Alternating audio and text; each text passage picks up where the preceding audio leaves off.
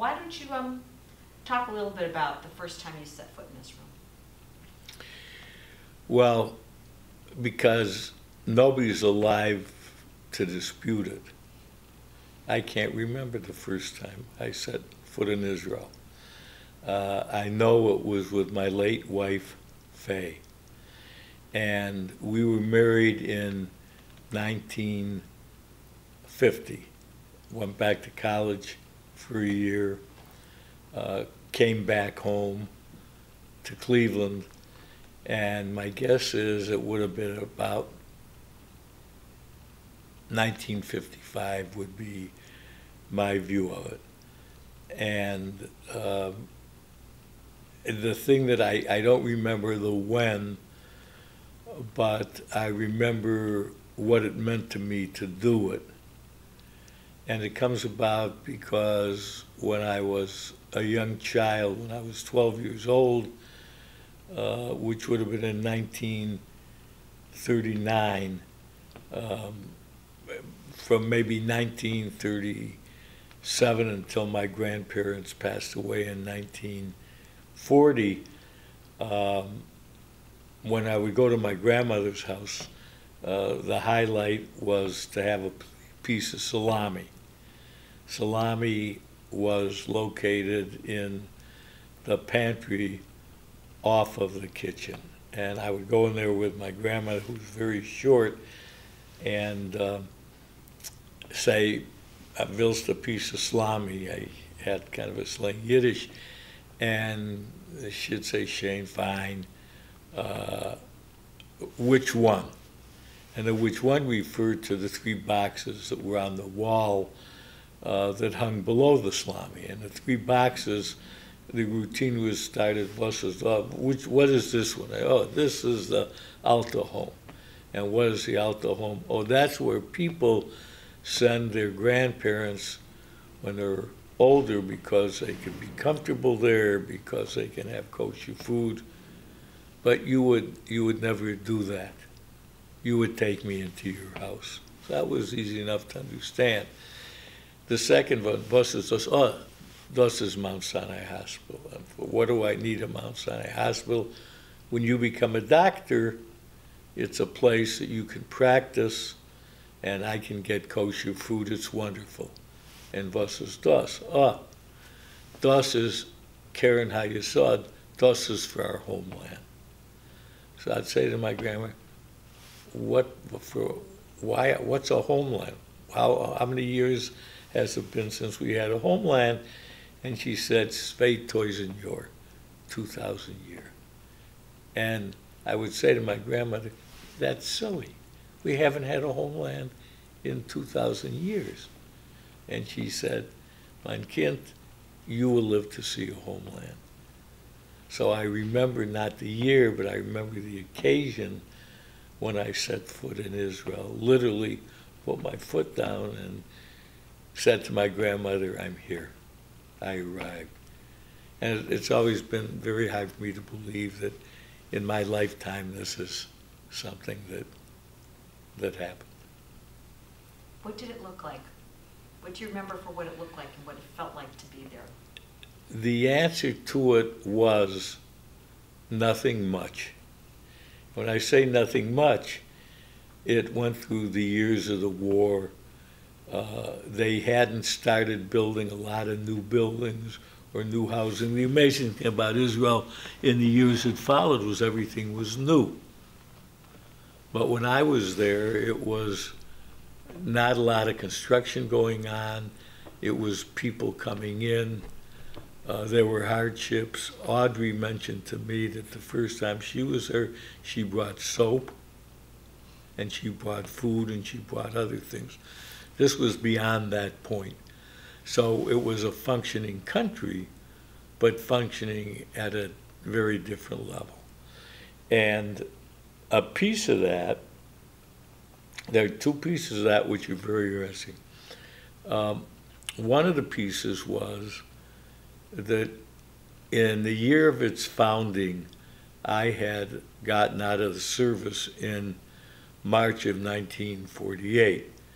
And uh, I worked at the Jewish Welfare uh, as a volunteer doing high school and college stuff. And it's where, at a meeting that I was conducting with a bunch of kids, I met Faye, who became my first wife. But um, I was in the office at my dad's lumberyard when he, uh, a gentleman came in to see him and said, we're starting a government in Israel and we need money. Is it possible for you to uh, loan us some money? And I said, well, how much money would you like? I mean, this sounds crazy. I'd like twenty-five thousand dollars. So my father went to the bank and gave him, gave him the money, and he gave him a check back from the government of Israel, uh, gave him a note from the government of Israel for twenty-five thousand dollars with, it was three percent, whatever the interest was. They formed the state.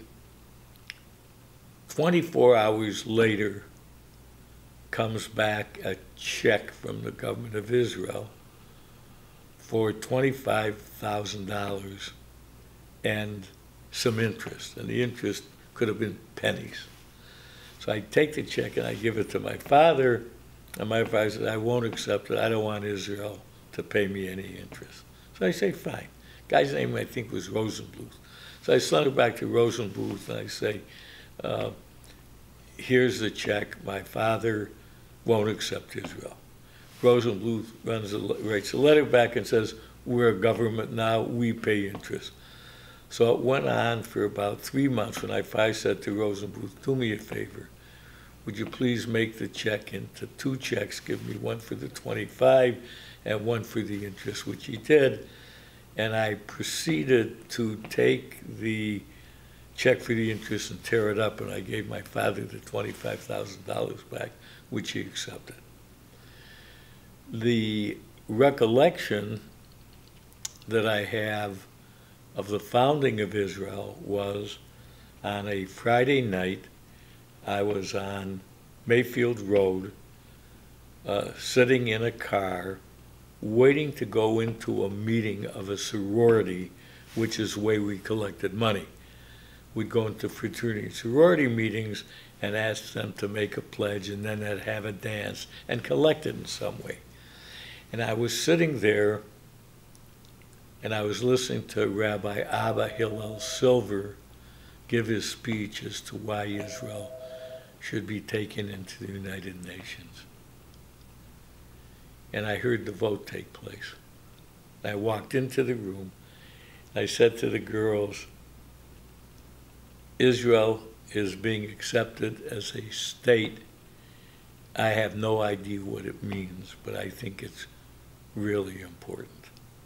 So that was really a part of what took place.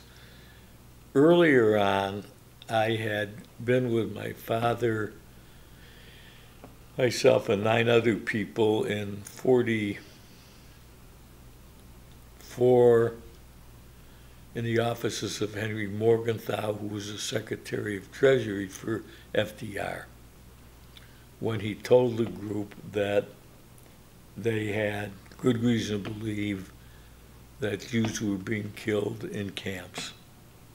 That was actually the first time we, we had known that there were some people that were being killed, but we, we had no idea that it was systematic or, or the way it was uh, being done. But um, when I was 14 years old and I was in uh, junior high school, I started my first campaigning. So I was 14 years old, it was 1941. And all the kids who are now my age, 90 years old, walk up to me and say, I gave you my first pledge. So it's a very long uh, historical thing.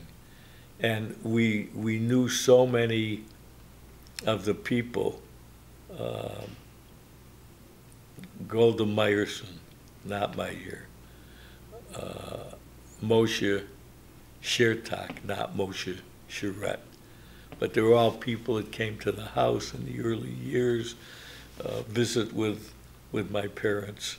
And then we got to see them when we were kids, and then when I would go there, uh, we would, we would get to see them. So I had a, really a personal relationship with a lot of the early people. I remember when I was a kid, not a kid, I was uh, out of the service, and uh, Chaim Weizmann was at the Waldorf Astoria, and I remember it because on the menu, the steak was Prince Henry IV, and I couldn't understand how do you have a steak named Prince Henry IV, but that was what we had, and I remember uh, because of my parents, I was the one that walked up to Chaim Weizmann and handed him a check for a million dollars, uh, which was, we would collect money, and this was one of the things we did to, um, to help Israel along. So I lived through the, uh, uh, the ma'abarot when people were living in shanties. Uh, we made a number of investments in Israel. I jokingly said, let me give the money. That way I know I've lost it rather than investing it and losing it because early on it was not a, a system, it wasn't a government. So you'd invest in pecans and the pecans didn't come, you'd invest in this and this didn't happen. You did a spinning mill in Kiryat Gat, but it wasn't old enough to, to work well. But we knew all these fellows, uh, Dolchin, uh, I argued with Begin, uh, actually in the White House, because he thought all the Jews should be going to Israel. And I said, listen, my father didn't go to Israel. He came to the United States. The Jews should go where they, they wanted to go. So it's been, uh, it's, it's interesting because my lifetime was being born, the Depression, the war, the Holocaust, and the state of Israel. Nothing that happened after really changed any of the thoughts that I had at all.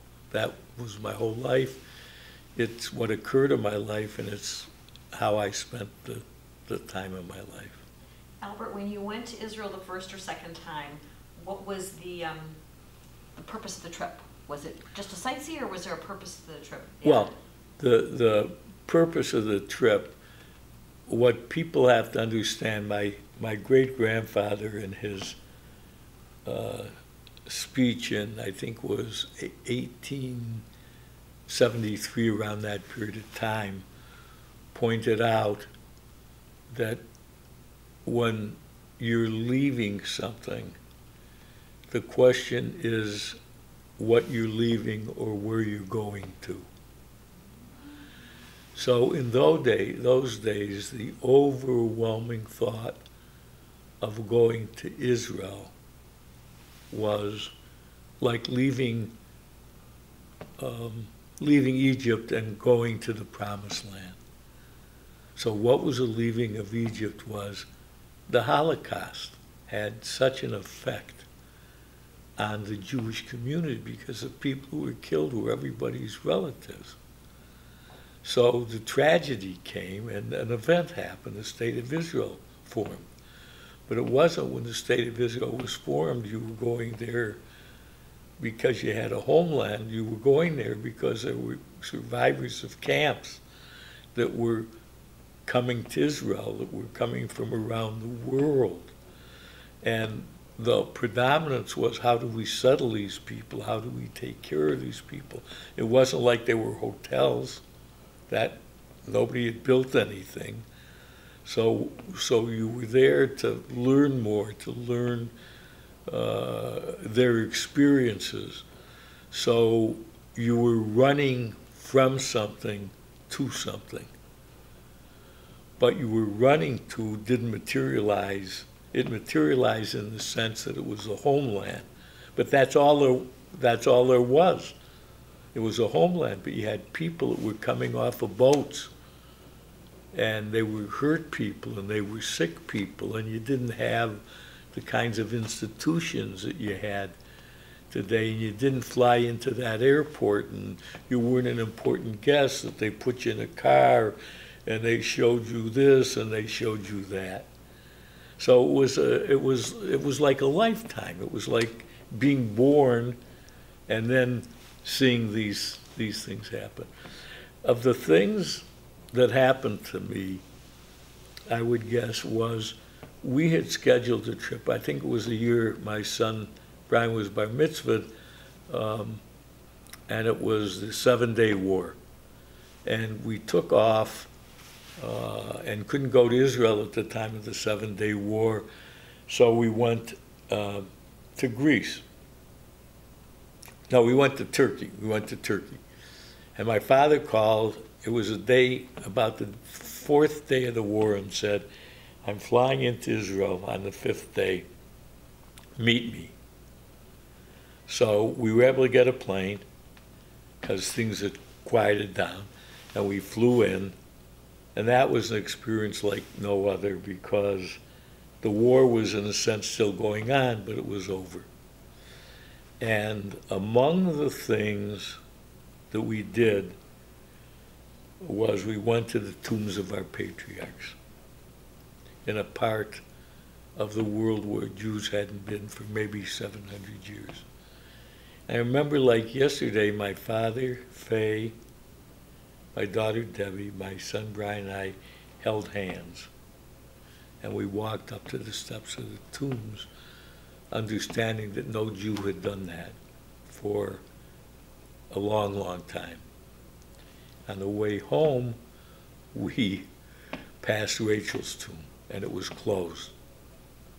And our driver said, you can't go in and visit because there's an Orthodox group that's praying.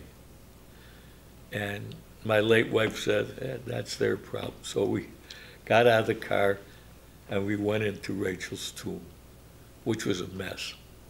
But I say to Mendy Klein, who's rebuilding it, listen, I saw it before you saw it because nobody could go in to see that as well. So um, it, it's a lifetime, and the connection, um, the connection is interesting because the, for those of us who lived during that time, you think of a homeland. So I think of the United States as a homeland, but I don't relate it to the fact that British English people came here because they were persecuted. Partly because it was so far away, partly because I'm not English, but the truth of the matter, it's why I'm here. On the other hand, when you say the word homeland and you're Jewish, it's the only place to go.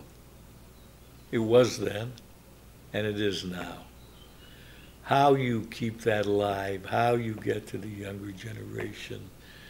Uh, there was just this survey made about after this period of time, uh, 40% of the country I think less than 2 million Jews died. Uh, 40% of the company don't know what Auschwitz is, is a problem. But if you lived it, it, it had special meaning. It really meant that had it not happened, we would have lost a whole bunch of more people. So when I say it, I smile. But when I say it, I also understand that we didn't have it for a long time. And when I look at Jewish history and I total up the number of years that we have had a homeland, it's such a small number of years. I just hope that we appreciate what we have. Well, with people like you sharing your story, that gave me chills about every other word you said. Um, They have to hear what you have to say because they have to appreciate it. May I ask you one more question? Sure. About that? When, um, when you came back after having been in Israel the first or second time, um, I'm gonna imagine that you must have talked to friends, colleagues, and encouraged them to go as well. Sure. What, um, how did you, and were you able to convince people to go, and how did you convince them? Well, the issue, um, the issue as to when you came back, you would clearly encouraged people to go. And you had much different safety issues than you did now because you have to remember that you had the war. And people, and Israel was in danger uh, for long periods of time during that period of time. So the first question about going is it safe to go? And the missions that you had very early were really among the largest givers and the organizers of the kinds of things that would ensure we could have a state. The concentration wasn't on the state. The concentration was how do you get people out? And how do you get people in? And where do you put them? So when you got to the point that you had missions and people would come back and tell other people, it was very meaningful. But the purpose, real purpose in going was to see for yourself and then tell people. But what you have to remember was the same time this was taking place in Israel, what was taking place in this country were that the survivors were coming to America. And when they came to America, they wouldn't tell their story. So the survivors came. In our lumber yard, we had a tremendous number of survivors who worked unloading boxcars, from boxcars there to boxcars here. And I was a kid, and I would talk to them. And they would say, I was in Auschwitz. Well, what was it like? I was in Auschwitz. And they wouldn't talk. But you had this tremendous inpouring of people coming to the United States at the same time you had them going to Israel. So I don't think, in a sense, we appreciated Israel in the same way we do now because we were so immersed. Uh, my Uncle Harry and Ann Miller would meet every train. My Aunt Ann, Harry's wife, would meet every train that came in and took them themselves to the apartment to make sure there was food and there was a mattress. So I had that going on in this country, which everybody was engaged in because it was a very large number of people and they were related to people and they came and then their people came. And then at the same time, you had this happening in Israel. Well, you didn't know the Israeli survivors. Most of the people met when I was in Israel early on were the people who came from Europe many decades before. They were the early pioneers in Israel. But the people I met in the United States were the people who were fresh from the camps. And one of the things I did when I got out of the Army, when I came here, I started going around the country with survivors and going to Federation meetings. And I would accompany them. And the obvious happened, which is why did I survive and why didn't they? Because when you heard their stories, somebody would say, I'm, I'm not Jewish. What are they doing to me? I'm not Jewish. Why did they kill my family? So it was being played really the same thing in two different places.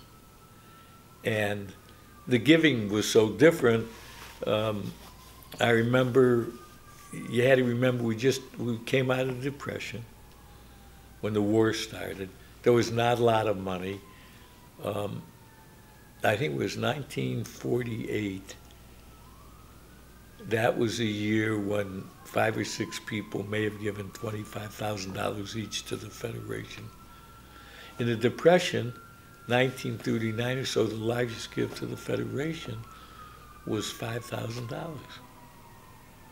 So all of this, you had all of this happening here, and you had all of the things on the side. So you had all of these people, a lot of them who were immigrants like my dad that came in the 20s, they didn't have a lot of money, but they had tremendous ideas. What I say now is we have tremendous money, but we don't have a lot of ideas. And you can appreciate how much more ideas really mean than money, just the way it worked. But you had living then people you know, they were going into Bialystok during the war. My dad would stay up half the night when Poland was invaded. They took this city, they took that city. You know, it's like saying they took Akron, they took Toledo, but he lived and the programs that he had. So for us that were growing up with immigrant parents, it was a very vital, long period of time in which it was, uh, you were living every day a drama. And every day something would happen. And then you would get people who came here uh, from Israel, who had been in Palestine earlier, or some of them were survivors. And then what happened over time, when you went there originally, there was nothing, there was no building you could relate to. Because everything was the British. What I found about the British, which was interesting, they used British standards. So all the floors were tile. Because the way of keeping the company broke. So they wanted very expensive buildings. So you go there, they're old buildings, there's tile on every floor, but there's nothing new. So over time, well, you, there, you had a dormitory at Hebrew University, you did this at the Hebrew uh, Museum. So it changed. There was an Israel Philharmonic Orchestra. Yeah, I mean, they may have had an orchestra then, but you didn't go to the orchestra when you went there, and you brought stuff when you went there, and you gave it to them when you went there, and then you would invite them to come here. So um, it's, it's really been something that when you realize how many Jews have lived the life that I've lived, or that my generation has lived. Uh, we say in our country that that generation, the generation I just missed, because I got in the army after war, was the greatest generation. The generation of Israeli leaders at that time were remarkable. And you got to meet them all. I got to meet Ben Gurion, I got to meet, meet uh, Sapir, Eshkol. Um, interesting enough, I was back in Israel with my uh, family, with Rabin a month before uh, he was killed. And we were sitting and talking. We were talking about what was taking place in Israel. And he said to me when we were there that um, he just had had, I think it was a hundredth no confidence vote, whatever it is.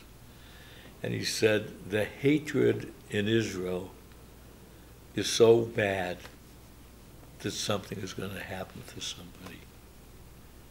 And a month later, it did. So, um, in many ways, I would say the country has filled its commitment. In some ways, the same kinds of things have happened to Israel that have happened to the United States. I keep reminding uh, people that the second temple failed because of uh, battles, internal battles. And you look at both countries at this point, and you see a lot of tribalism. And uh, it's been interesting. But despite everything else, despite when you think about it, we, we sit in Cleveland. I remember my son went to see Fiddler in the Roof uh, in Tel Aviv with somebody. And he was late coming home, and I was sitting with my father in the Hilton Hotel in Tel Aviv. Father says, I'm worried about it. I said, listen, worry about him in Cleveland. In Israel, he's fine. So we sit in our neighborhoods, we say, you know, we have this terrible thing going on. I'm worried if I go downtown, if I do this, if I do that. And then I look today and I look at what's happening in Gaza and on the borders with the Arabs. They live under the under constant threat. And uh, the the last thing I'll tell you is that uh, I have not been back to Israel since 19, I think it's 96 or 97. two days before we were leaving Israel, uh, I went to Yad Vashem and uh, happened to stand in front of an exhibit about the Germans and about Germany and Berlin, and about a fact that the Germans had their best Jewish community when Hitler rose to power and they were put in the ghetto. And they formed all these schools and everything. Next day, I walked the walls of the old city on top of the ramparts. And I went into a shop and I wasn't feeling well. And we left Israel. My daughter flew on to Washington. And Audrey and I, we parted in Rome. We went to Positano in Italy. And I ended up with a heart attack. And as a result, I haven't been back because my wife is uncomfortable with me being too far from the Cleveland Clinic. And I remember when I was in the ambulance, I knew I'd had a heart attack, but I didn't know just how serious, I, I knew it was serious, but I didn't know what was going to happen. I was sitting and thinking, I hope the same thing doesn't happen to the United States and Cleveland happened to Berlin, which was that the best time we'd ever have a great Jewish community, which we still have, thank God, was when something happened. So I've never been convinced it couldn't happen. On the other hand, there has never been a day of my life that I've ever, ever had any conflict with being a American who is Jewish, loves Israel. It all just fits perfectly for me. It's all what my life is. Being such a proud Clevelander, but also being such a strong advocate for Israel, what is that knowing that you and your family are Clevelanders, but also have a love for Israel and, and, and starting that that life in Israel for people who can start a community? It doesn't exist. In other words, it's just what your life is. So you don't think about these things. You don't sit and say, well, here's what I'm going to do. I'm from Cleveland, and they have a state in Israel, and you know, that's really a good thing. I really ought to be a part of it. It starts out with your mother and your father, and your grandmother and your grandfather, and your aunts and your uncles. And it's what you do.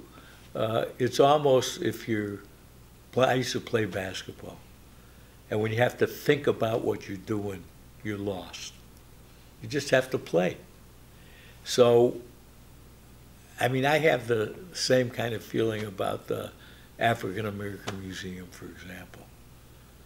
To me, it's about liberty, it's about freedom, it's about knowledge. It's about helping one another. It's about helping repairing the world. But I never really think about anything that we have done other than what we should have done, and most times we don't do what we should have done. So I don't think in those terms. You wake up in the morning, you do the things you ought to do, you come home at night and you say to yourself, what did I really do today? And my belief is, my belief is that if you take the time to think about what you're doing, you've wasted the time to do it. So this is this. I think. What, how have you survived? They haven't survived by sitting and saying, "I've survived. I'm going to survive." They survived by doing the things you needed to do to make sure that you did. And that to me is what life is. It's waking up every day and trying to do the things you do. And uh, people keep asking me, well, what's your legacy? And I don't understand what a legacy is. What I believe is, because this is what happened to my life, is that as long as I remember the people who affected my life, they're always here. And my hope would be that someday, when I'm not here, that people remember that I was here. And when they don't remember that I was here, the people who remembered I was here, that were remembered by other people, will remember. So I did, I never knew my great-grandfather, who was a very famous rabbi. But here it is on Passover.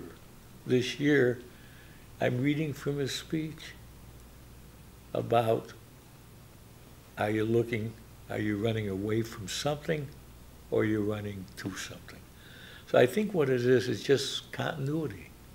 So what you are, you're a very small piece of what is a very small people that have a very large connection. And that's, I would say to my grandma after, how do you remember for 2,000 years you couldn't have something, you could have it? It's who we are. So that's, it's, it's what it is. It, Mayor Jackson has a saying, it is what it is. So I happened to be with him today, and we were having a discussion, well, what does that mean? Is it, it is what it is.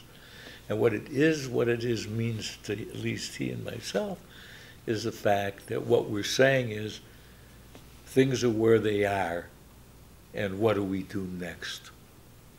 But if you don't understand where you are, you never know what you can do best. So what you try to do is you try to just assess and, and you do things and you do things that your relatives probably did 500 years ago, but you don't know them, they don't know you. But, but it works. The most important quality a leader can have is humility.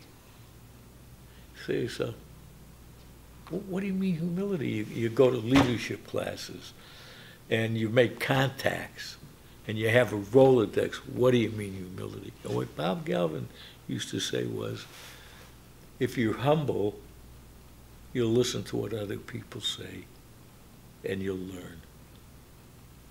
And if you're not, you're not going to learn anything. So life, life is learning.